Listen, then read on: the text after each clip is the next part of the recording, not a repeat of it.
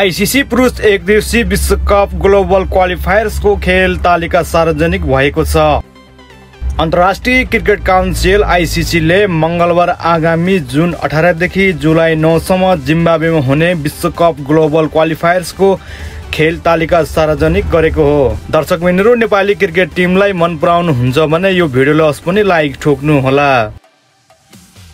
सार्वजनिक खेल तालिका अनुसार ग्लोबल क्वालिफायर्सको पहिलो दिन अर्थात् अठार जुनमा दुई खेल हुनेछन्।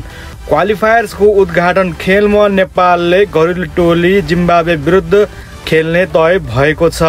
यो खेल नेपालको लागि टेस्ट राष्ट्र विरुद्ध पहिलो एक दिवसीय अन्तर्राष्ट्रिय ओडिआई मान्यता प्राप्त खेल पनि हुनेछ। यसै गरेर नेपालको दोस्रो खेल बिस जुनमा अमेरिकासँग खेल्नेछ।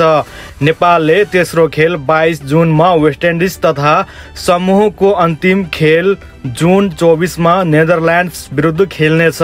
दर्शकबिनहरू दस राष्ट्र सम्मिलित ग्लोबल छनौटमा सुपर लिगबाट आयरल्यान्डसँगै पोरु च्याम्पियन वेस्ट इन्डिज र श्रीलङ्का नेदरल्यान्ड्स र जिम्बावे गरी पाँच राष्ट्रहरूले सहभागिता रहनेछ।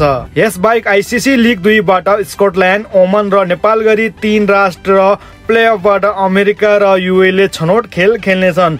विश्वकप छनौटको शिर दुई स्थानमा रहने टोलीले भारतमा यसै वर्षको अन्तिममा हुने आइसिसी पुरुष एक दिवसीय विश्वकपमा स्थान सुरक्षित गर्नेछ।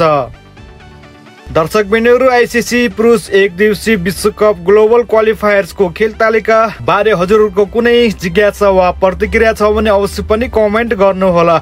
आजलाई यति नै। हस्त नमस्कार बाई बाई